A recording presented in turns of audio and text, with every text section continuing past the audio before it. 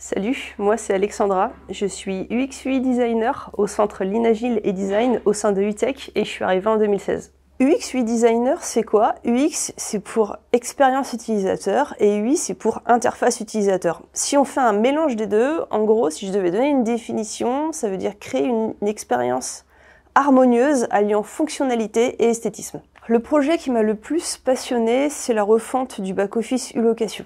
Qu'est-ce que c'est le back-office location? C'est tout simplement le logiciel qu'utilisent les personnes en magasin et qui permettent en fait de louer les véhicules de nos magasins U.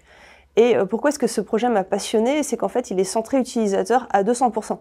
Ça veut dire que je me suis rendu en magasin, j'ai fait des interviews, j'ai observé comment ça, comment ça fonctionne. Tout ça avec une alliance avec aussi Coopérative U, qui est une autre entité de groupement U, et euh, cette synergie, on va dire, de projet, d'équipe, fait que ça a rendu le projet euh, très passionnant et intéressant et il continue encore. UTech euh, m'a soutenu à différents niveaux. Il faut savoir que moi, à la base, je suis issue d'une licence informatique. Donc en fait, j'étais développeuse. Quand je suis arrivée chez UTech en 2016, j'étais analyste de test et j'ai tout de suite développé une appétence pour le design. J'ai eu la chance d'avoir des managers compréhensifs en fait, qui m'ont laissé le temps de développer cette appétence.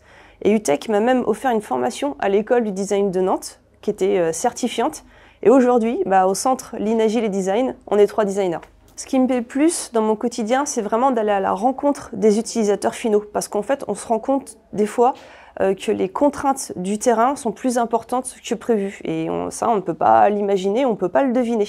Et aussi, la deuxième phase, c'est vraiment c'est quand je leur montre les maquettes qui sont réalisées et que je leur fais tester et qui sont conquis et bah pour moi le job est fait parce que ça veut dire en gros que je vais pouvoir simplifier leur quotidien et ça bah ça ça n'a pas de prix.